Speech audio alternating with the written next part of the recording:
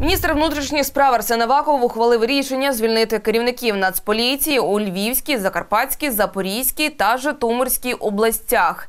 Вони продемонстрували найгірші показники ефективної роботи.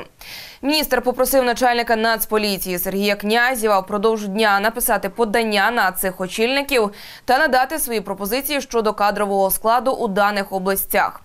Перед цим князів зазначив, що у нього є суттєве нарікання до керівників головних управлінь Львівської, Закарпатської, Запорізької та Житомирської областей, і що він готовий прийняти кадрові рішення щодо цих керівників. Також він повідомив, що проблеми у роботі виникли у Дніпропетровській області, але минулого місяця очільник головного управління був звільнений з посади.